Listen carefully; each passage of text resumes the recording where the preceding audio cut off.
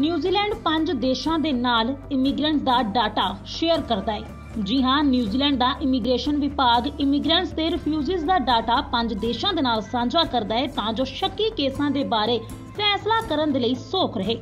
Border management ਦੇ ਤਹਿਤ ਇਸ ਸਿਸਟਮ ਰਾਹੀਂ ਵੀਜ਼ੇ ਲਈ ਅਰਜ਼ੀ ਦੇਣ ਵਾਲੇ ਵਿਅਕਤੀ ਦੀ ਕ੍ਰਿਮੀਨਲ ਹਿਸਟਰੀ ਡਿਪੋਰਟੇਸ਼ਨ ਸਟੇਟਸ ਅਤੇ ਅਸਲੀ ਸ਼ਨਾਖਤ ਬਾਰੇ ਪੜਤਾਲ ਕੀਤੀ ਜਾਂਦੀ ਹੈ। ਬਾਇਓਮੈਟ੍ਰਿਕ ਅਤੇ ਬਾਇਓਗ੍ਰਾਫਿਕ ਡਾਟਾ ਆਟੋਮੈਟਿਕ ਨਹੀਂ, ਬਲਕਿ ਕਿਸੇ ਦੇਸ਼ ਦੇ ਵੱਲੋਂ ਲੋੜੀਂਦੀ ਜਾਣਕਾਰੀ ਮੰਗੇ ਜਾਣ ਤੇ ਹੀ ਸਾਂਝਾ ਕੀਤਾ ਜਾਂਦਾ ਹੈ। ਇਸ ਦਾ ਘੇਰਾ ਜਾਪਾਨ, ਇੰਡੋਨੇਸ਼ੀਆ ਅਤੇ ਯੂਰਪ ਤੱਕ ਵਧਾਏ ਜਾਣ ਲਈ ਵੀ ਯਤਨ ਕੀਤੇ ਜਾ ਰਹੇ ਨੇ। ਪ੍ਰਾਪਤ ਜਾਣਕਾਰੀ ਦੀ ਜੋ ਗੱਲ ਕਰੀਏ ਤਾਂ ਪ੍ਰਾਪਤ ਜਾਣਕਾਰੀ ਦੇ ਮੁਤਾਬਕ ਨਿਊਜ਼ੀਲੈਂਡ ਸਣੇ ਆਸਟ੍ਰੇਲੀਆ, ਯੂਕੇ ਯੂਐਸ ਅਤੇ ਕੈਨੇਡਾ ਦਾ ਸਾਂਝਾ ਇੰਟੈਲੀਜੈਂਸ ਗਰੁੱਪ ਬਣਿਆ ਹੋਇਆ ਹੈ, ਜਿਸ ਨੂੰ 5IK ਕਰਕੇ ਵੀ ਜਾਣਿਆ ਜਾਂਦਾ ਹੈ। ਉਸੇ ਤਰਜ਼ ਤੇ ਮਾਈਗ੍ਰੇਸ਼ਨ 5 ਜਾਂ M5 ਬਣਿਆ ਹੋਇਆ ਹੈ ਜਿਸ ਰਾਹੀਂ ਇਮੀਗ੍ਰੈਂਟਸ ਨਾਲ ਸੰਬੰਧਿਤ ਨਿੱਜੀ ਡਾਟੇ ਦਾ ਲੈਣ ਦੇਣ ਕੀਤਾ ਜਾਂਦਾ ਹੈ ਨਿਊਜ਼ੀਲੈਂਡ ਇਸ ਵੇਲੇ ਗਰੁੱਪ ਦਾ ਚੇਅਰਮੈਨ ਹੈ ਜ਼ਿਕਰੇ ਖਾਸ ਹੈ ਕਿ New Zealand the ministry of business innovation and implement ਨੇ ਪੰਜ ਦੇਸ਼ਾਂ ਦਾ ਸਾਂਝਾ ਸਿਸਟਮ ਸ਼ੁਰੂ ਕੀਤਾ ਸੀ, ਜਿਸ ਨੂੰ SRTP ਭਾਵ ਸਿਕਿਉਰ ਰੀਅਲ ਟਾਈਮ ਪ੍ਰੋਗਰਾਮ ਦੇ ਵਜੋਂ ਜਾਣਿਆ ਜਾਂਦਾ ਹੈ, ਜਿਸ ਨਾਲ ਪੰਜਾਂ ਦੇਸ਼ਾਂ ਨੂੰ ਆਪਸ 'ਚ ਜਾਣਕਾਰੀ ਸਾਂਝੀ ਕਰਨ 'ਚ ਸੌਖ ਰਹਿੰਦੀ ਹੈ। ਆਫੀਸ਼ੀਅਲ ਇਨਫੋਰਮੇਸ਼ਨ ਐਕਟ ਦੇ ਤਹਿਤ ਜਾਰੀ ਆંકੜੇ ਦੇ ਅਨੁਸਾਰ ਨਿਊਜ਼ੀਲੈਂਡ ਨੇ ਸਾਲ 2017 'ਚ ਦੂਜੇ ਸਹਿਯੋਗੀ ਚਾਰ ਦੇਸ਼ਾਂ ਦੇ ਨਾਲ 14000 ਫਿੰਗਰਪ੍ਰਿੰਟਸ ਸਾਂਝੇ ਕੀਤੇ ਨੇ। ਡਾਟਾ ਸ਼ੇਅਰਿੰਗ ਵਰਕਿੰਗ ਗਰੁੱਪ ਦੇ ਅਨੁਸਾਰ ਸਾਰੇ ਦੇਸ਼ਾਂ 'ਚ ਆਪਸੀ ਸਹਿਯੋਗ ਵਧਾਉਣ ਦੇ ਲਈ ਡਾਟਾ ਭੇਜਣ ਸੰਬੰਧੀ ਟ੍ਰਾਇਲ ਵੀ ਕੀਤੇ ਗਏ ਸਨ।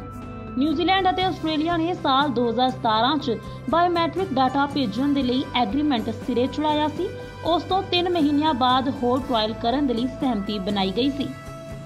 ਦੂਜੇ ਪਾਸੇ ਇਮੀਗ੍ਰੇਸ਼ਨ ਦੀ ਇੱਕ ਸਟੇਟਮੈਂਟ ਅਨੁਸਾਰ ਪੰਜ ਦੇਸ਼ਾਂ ਨੇ ਇੱਕ ਦੂਜੇ ਦੇ ਤਜਰਬੇ, ਸਮਰੱਥਾ ਅਤੇ ਮੁਹਾਰਤ ਨਾਲ ਇਮੀਗ੍ਰੇਸ਼ਨ ਸੰਬੰਧੀ ਅੰਗਾਹ ਵਧੂ ਕਦਮ ਚੁੱਕੇ ਹਨ, ਜਿਸ ਨਾਲ ਪੰਜੇ ਦੇਸ਼ ਗਲੋਬਲ ਇਮੀਗ੍ਰੇਸ਼ਨ ਚੁਣੌਤੀਆਂ ਦਾ ਟਾਕਰਾ ਕਰਨ ਲਈ ਮੋਹਰੀ ਰੋਲ ਨਿਭਾਉਂਦੇ ਹਨ। ਜਿਸ ਕਰਕੇ ਦੇਸ਼ਾਂ ਦੇ ਵੱਲੋਂ ਆਪਸ 'ਚ ਫਿੰਗਰਪ੍ਰਿੰਟਸ ਦੀ ਜਾਣਕਾਰੀ ਨੂੰ ਲੈ ਕੇ ਇਮੀਗ੍ਰੇਸ਼ਨ ਫਰਾਡ ਕ੍ਰਿਮੀਨਲ ਹਿਸਟਰੀ ਅਤੇ ਹੋਰ ਛੁਪੇ ਤੱਥਾਂ ਦਾ ਪਤਾ ਲਗਾਇਆ ਜਾਂਦਾ ਹੈ।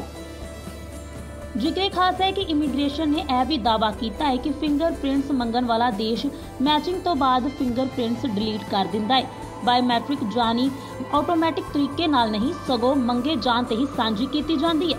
ਜਦੋਂ ਕਿ ਆਟੋਮੈਟਿਕ ਜਾਣਕਾਰੀ ਵਾਲਾ ਕੰਮ ਮਾਹਰ ਟੀਮ ਬਹੁਤ ਹੀ ਬਰੀਕੀ ਦੇ ਨਾਲ ਮੋਨੀਟਰ ਕਰਦੀ ਹੈ। ਭਾਵ ਨਿਊਜ਼ੀਲੈਂਡ ਦੇ ਡਾਟਾਬੇਸ 'ਚ ਪਿਆ ਡਾਟਾ ਸਿਰਫ ਉਦੋਂ ਹੀ ਸਾਂਝਾ ਹੁੰਦਾ ਹੈ ਜਦੋਂ ਕੋਈ ਕਿਸੇ ਦੇਸ਼ 'ਚੋਂ ਫਿੰਗਰਪ੍ਰਿੰਟਸ ਮੈਚ ਕਰ ਜਾਂਦੇ ਨੇ।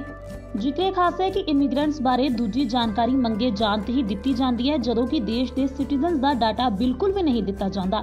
ਇਸ ਤੋਂ ਇਲਾਵਾ ਪ੍ਰਾਈਵੇਸੀ ਕਮਿਸ਼ਨਰ ਨਾਲ ਸਲਾਹ ਕਰਕੇ ਪ੍ਰਾਈਵੇਸੀ ਇੰਪੈਕਟ ਸਿਸਟਮ ਦੀ ਅਸੈਸਮੈਂਟ ਵੀ ਪਾਸ ਕਰ ਲਈ ਗਈ ਹੈ ਤੇ ਸਿਟੀਜ਼ਨ ਦਾ ਡਾਟਾ ਬਿਲਕੁਲ ਵੀ ਇੱਕ ਦੂਸਰੇ ਦੇ ਨਾਲ ਸਾਂਝਾ ਨਹੀਂ ਕੀਤਾ ਜਾਂਦਾ ਹੈ, ਇਸ ਦੀ ਪੂਰੀ ਪ੍ਰਾਈਵੇਸੀ ਰੱਖੀ ਜਾਂਦੀ ਹੈ। Bureau report ਅਨਖੀਲਾ Punjab TV.